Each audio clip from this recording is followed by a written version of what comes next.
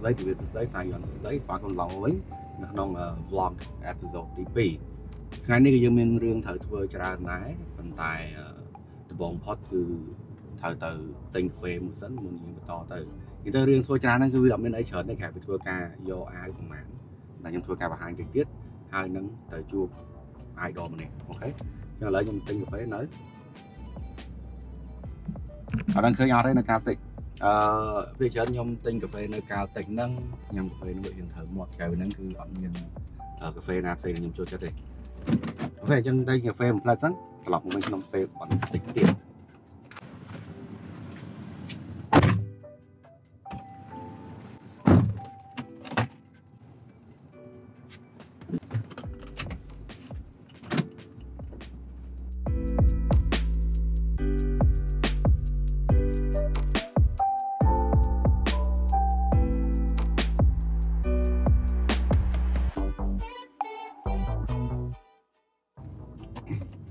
អឺទី1គឺយើងនឹងធ្វើការទៅយក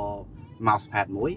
ខ្ញុំទៅតែកំង mouse pad ខ្ញុំកំងតាម Cambo Quick អញ្ចឹង Cambo Quick និយាយទៅអឺភាគច្រើនខ្ញុំកំងអីអីខ្ញុំកំងមកពី Amazon អញ្ចឹងណាព្រោះរបស់អញ្ចឹងអញ្ចឹងបាក់រនៅខ្មែរអូហើយ head palm ទៀតដែលខ្ញុំធ្វើការកំង mouse pad ហ្នឹងគឺថាតែរងថ្ងៃខ្ញុំប្រើ mouse pad របស់ Shroud អញ្ចឹង mouse pad ហ្នឹងធំដែរតែនៅពេលដែលខ្ញុំធ្វើការតម្លាក់ sensitivity ទៅគឺខ្ញុំត្រូវការ mouse pad ធំជាងព្រោះខ្ញុំកលៀស ខ្ញុំកលៀស mouse ទៅតែងតែដាច់ mouse pad អញ្ចឹងខ្ញុំធ្វើ adjust ច្រើនពេលច្រើនខ្ញុំចង់បាន mouse pad ហ្នឹងគឺទំហំធំមែនតើជាមួយទីខ្ញុំប្រាប់អ្នកនរគ្នាអូខេអញ្ចឹងខ្ញុំដល់ Cambo Quick ខ្ញុំប្រាប់អ្នកនរគ្នាមួយសិនអឺ logo របស់គាត់ហ្នឹងឃើញសញ្ញាហ្នឹងខ្ញុំអាចដាក់បានមិនមែនជា video sponsor អីទេប៉ុន្តែគ្រាន់តែថាវាជាកន្លែងមួយដែលខ្ញុំអាសាធ្វើការកម្មង mouse pad មកដែរអញ្ចឹងកម្មងឲ្យបាយវ៉ាន់មិនតែ mouse pad ទេ អញ្ចឹង recommend សម្រាប់អ្នកទាំងអស់គ្នាដែលចង់ធ្វើការកម្មងបាយវ៉ាន់មកពីតាម Amazon មកពីប្រទេសផ្សេងអញ្ចឹងអូខេយក mousepad ទីសិនជួបគ្នាក្នុងពេលបន្តិចទៀត mousepad Mac Glorious PC Gaming Race ចឹងខ្ញុំធ្វើការដាក់អានិសាយប់ហ្នឹងអឺ mousepad របស់ Shroud ហ្នឹងប្រហែលជាត្រូវយកទុកសិនណាតោះកន្លែងបន្ទាប់គឺយើងនឹងចេញទៅទៅណាទៅចេះគិតមើលសិន ពេលរត់នឹកឃើញហើយគឺចំណុចបន្ទាប់គឺយើងនឹងទៅ fan sport club fan sport club ហ្នឹងគាត់ធ្វើការ print អាវអញ្ចឹងណាអញ្ចឹងយើងទៅយកអាវរបស់ក្រុមចំនួន2អញ្ចឹងនៅក្នុងហ្នឹងគឺមានក្រុម UTB ជាមួយនឹងក្រុម X-Force គាត់បានអាវឲ្យអាវខ្ញុំម្នាក់មួយចឹងអរគុណច្រើនមែនទែននឹងពីរក្រុមហើយចប់ពីហ្នឹងទៅយើងទៅយកអាវមួយទៀតគឺអាវរបស់ក្រុមសុវណ្ណ A ដូចគ្នាអញ្ចឹងសង្ឃឹមថានៅពេលដែលបានអាវហ្នឹងមកគឺនឹងយកអាវហ្នឹងពាក់នៅពេលដែលយើងបាញ់ PUBG Mobile ពេលពាក់អាវរបស់ក្រុមខ្លាំងខ្លាំងព្រោះឥឡូវយើងមានអាវរបស់ខាង Orange មកនិយាយពីអាវខាង Orange ចង់សុំអាវ Orange ថែមមួយទៀតព្រោះអាវឲ្យអាវ Leon មកអាវដូចជា X3 ដង L អញ្ចឹងគឺពាក់គឺធំមែនទែនហើយចង់បានអាវ Leon មួយទៀតប៉ុន្តែយើងធ្វើការ stream PUBG Mobile ព្រោះខ្ញុំចាប់តាម stream PUBG Mobile ឡើងមកវិញហើយហើយសង្ឃឹមថាពាក់អាវហ្នឹងទៅគឺឡើងទឹកដៃធម្មតាយើងពាក់អាវអ្នកខ្លាំងយើងឡើងទឹកដៃដូចអ្នកខ្លាំងយើងយេអញ្ចឹងអាហ្នឹងគឺនិយាយទៅ ហើយផលខ្ញុំអត់សូវធ្វើ vlog នេះគឺដោយសារអញ្ចឹងគឺនៅពេលដែលខ្ញុំចេញពីផ្ទះខ្ញុំអត់សូវមានកម្មវិធីអីច្រើនទេក្រៅតែពីទៅឆ្វេងទៅស្ដាំជួបគេទិញនេះទិញនោះទៅយកនេះទៅយកនោះអឺយកអីវ៉ាន់ផ្ដល់អីវ៉ាន់ឲ្យគេវិញគឺមានតែប៉ុណ្្នឹងទេគឺខ្ញុំគឺនៅផ្ទះថតវីដេអូនៅផ្ទះ stream ជារៀងរាល់ថ្ងៃមិនមែនជា អ្នកដែលដើរលេងច្រើនស្គាល់កន្លែងច្រើនឬថាទៅសប្បាយច្រើន មានមិត្តភ័ក្តិច្រើននៅខាងក្រៅគឺអត់ទេគឺខ្ញុំលក្ខណៈថាការងារគឺច្រើនជាងពេលវេលាផ្ទាល់ខ្លួន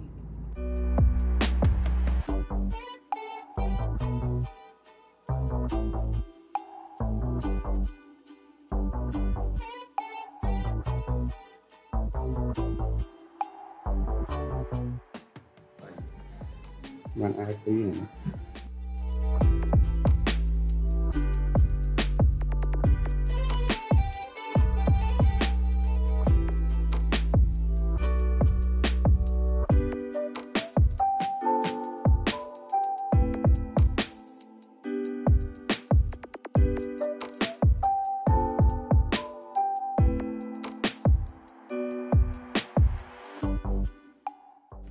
ឥឡូវយកបានអាវទី3ហើយ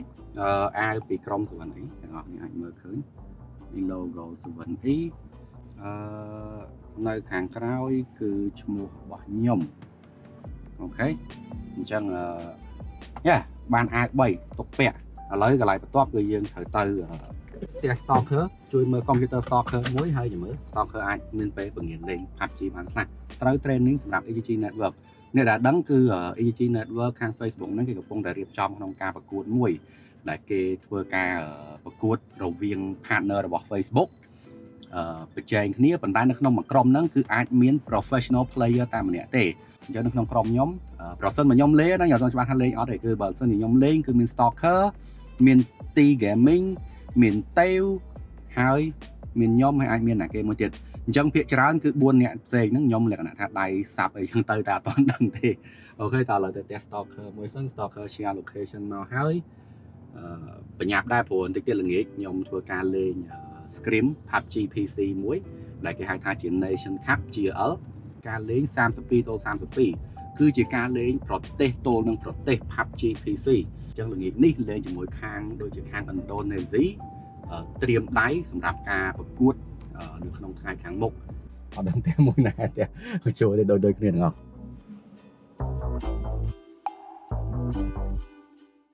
Hello មើល Hello មើលមើល Hello Yeah, stop. Welcome to the blog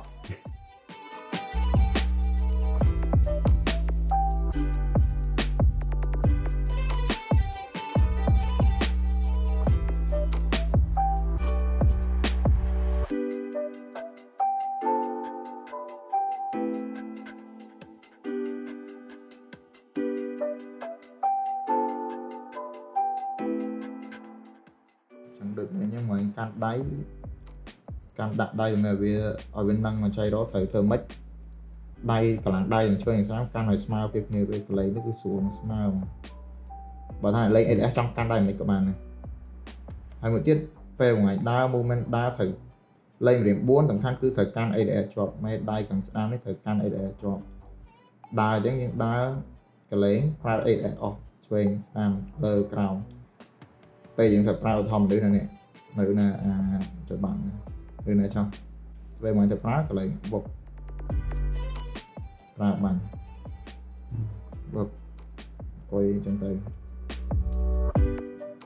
ដល់ពេលត្រូវប្រើគឺដើរធម្មតាដៃកាន់នឹងដឹងមិនត្រូវផ្អៀងទៅណាទៅណីទោះតាឃើញមនុស្សនៅកណែពេលវាយដើរហ្នឹងកំពុងអីដែរឃើញនេះកន្លែងមកបុកកន្លែងមកបុកកន្លែងមកបុក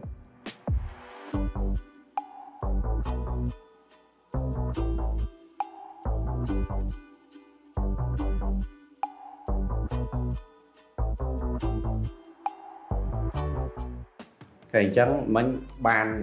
តេស្តជាមួយ stalker ហើយ stalker បាន tip ច្រើនអឺតែឥឡូវដល់ម៉ោងត្រូវចេញទៅវិញ stalker ត្រូវមាន screen ម៉ោងមកប្រើកន្លែង7កន្លះខ្ញុំមាន screen ដែរ7កន្លះមួយ PUBG Mobile មួយ PUBG PC អញ្ចឹងអរគុណច្រើនមែនតើ stalker មានន័យថានិយាយនិយាយមួយហើយ bye bye see you in the next vlog ប៉ុណ្ណាណាប៉ុណ្ណាប៉ុន្តែក៏វិញ live fake stalker gaming ហ្នឹងមកហ្នឹងផ្លេចមួយទៀតមានមួយទៀតមាន Astro អូខេចាឥឡូវត្រូវទៅវិញហើយ Astro មានន័យថានិយាយនិយាយម៉ាត់អីអីយ៉ាងហើយឈ្មោះអីគេបាគេឈ្មោះអីចឹងណាអឺដឹងនិយាយអីដែរអូខេពេលឈ្មោះ Astro ខ្ញុំដាក់ link នៅខាងក្រោម Yeah, Astro A game នេះខ្ញុំដាក់ link នៅខាងក្រោមមកចុច orange ថ្មីបំផុត by Frank អូខេហ្នឹងហើយបាយ Thank you រកបាយលើកែបងពីយុគ និយាយទៅឆ្កែខ្ញុំចេះស៊ីស្វាយ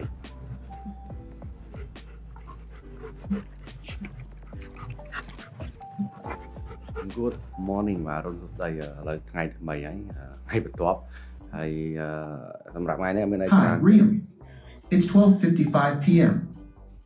Currently in Phnom Penh, it's 33 degrees and partly cloudy. Anyway អញ្ចឹងទី1គឺយើងនឹងធ្វើការសាកដាក់ mousepad សលេងអ្នកនរគ្នាលឺហ្នឹងគឺខ្ញុំក៏ឡើយពងមើល submit គាត់ជា streamer នៅលើ Twitch favorite streamer របស់ខ្ញុំ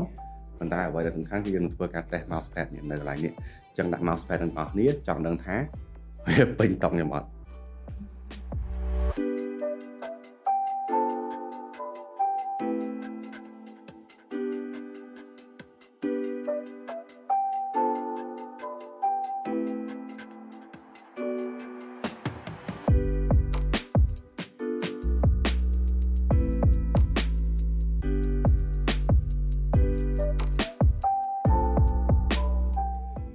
ខេអញ្ចឹងនេះគឺជា setup ថ្មីរបស់ខ្ញុំ